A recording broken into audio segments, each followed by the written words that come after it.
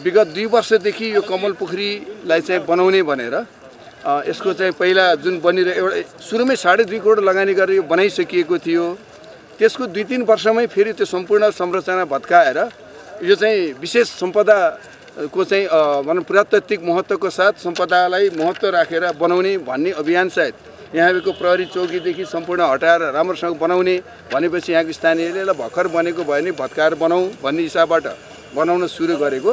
तर अहिले आएर एक त बनाउने कार्य पनि अत्यन्तै ढिला सुस्ती त्यसमाथि पनि अब चारैतिर तपाईँले हेर्न सक्नुहुन्छ। यो कङ्क्रिटहरू लगाएर होइन विभिन्न किसिमको चाहिँ यो जुन पौराणिक हाम्रो जुन पुरातात्विक महत्ता सम्पदाको रूपमा जुन किसिमको तरिका अप्नाएर गर्नु पर्थ्यो त्यो त्यस किसिमबाट नभएर यो चाहिँ अब कङ्क्रिटको बनाउने हाम्रो जुन सम्पदालाई मास्ने किसिमको जुन किसिमबाट चाहिँ यो निर्माण हुँदै गइराखेको छ यसले चाहिँ हाम्रो सम्पदामा चाहिँ माथि चाहिँ अतिक्रमण हो भन्ने हामीले महसुस गऱ्यौँ। यहाँ के बन्ने हो त्यो बन्ने चिजको चाहिँ यहाँ एउटा चाहिँ ठुलो होर्डिङ बोर्डमा राखियोस्।